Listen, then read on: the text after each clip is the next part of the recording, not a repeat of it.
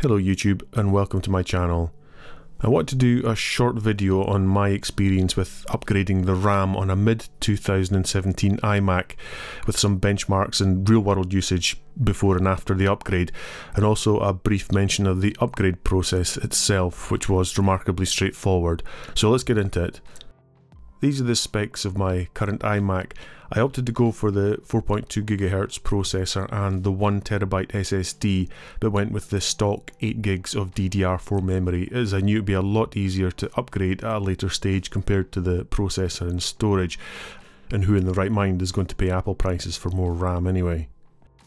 Having a quick look at the Apple website, even just the 16 gig upgrade asks £180 to the price, the same price as the processor upgrade, so if you're thinking long term, then leaving the RAM makes more sense.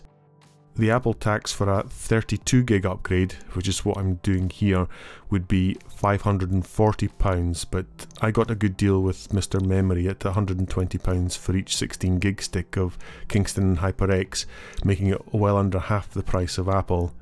I was going to say I won't even mention 64 gigs of RAM, but I'll get back to that before the end of the video. Taking a quick look at Geekbench, I actually started recording the benchmark as a screen recording until I realised that this was obviously going to affect the final score, so I redid the test with no other processes running. So you can see a normal single core score is around 5500 and a multi-core score somewhere around 18000 to 18400. I also did a boot test, I carried out a few and they were all coming in around 32 seconds to the login screen. So these are the sticks just before inserting them into the Mac. I put a towel down on my workbench before starting work. Getting the cover off was fairly straightforward although the cover release button requires more pressure than I expected. Pull the two levers outwards to release the holder and the RAM sticks are now easily accessible. I doubt it has any effect on performance but I removed each of the 4 gig sticks and then placed the 16 gig sticks in their positions. then it's just a case of pushing the levers inwards to collapse the holder, then press the rows of small springs around the cover evenly to pop it back into position. Then a quick check to make sure the iMac is recognising the additional RAM modules with the 16 gig sticks now showing in the top position. So how does it perform?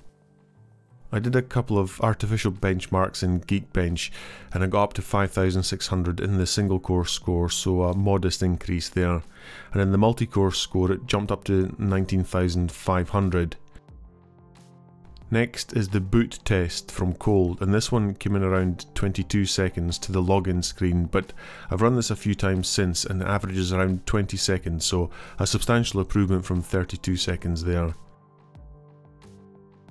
But obviously the main benefits are going to come when running apps and one thing I've noticed is the mapping software I use, RouteBuddy, which is the best dedicated mapping software I've found for the Mac platform is much snappier, zoom is much quicker and as I move around the tiles are drawn much quicker.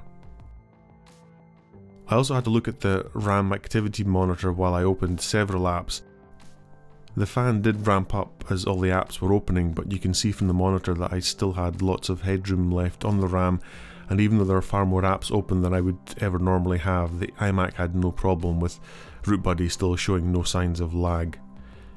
So would I recommend the upgrade? Compared to Apple prices, this is definitely the way to go. However, I'm not convinced the modest improvements with the 32GB upgrade are worth the price, unless you're the type of person that needs lots of apps open at the same time. In my opinion, the sweet spot would be to add two 8GB modules, giving the base model a respectable 24 gigs in total, with the option of upgrading to 32 at a later stage. The 16 gig sticks fitted here give the option of taking this iMac to 64 gigs, but the processor and graphics card are going to let you down before the RAM does, and you should have probably have bought yourself an iMac Pro in that case anyway. If you enjoyed this video, please hit the like button, and if you disagree, you know what to do. Until the next one, Thanks for watching.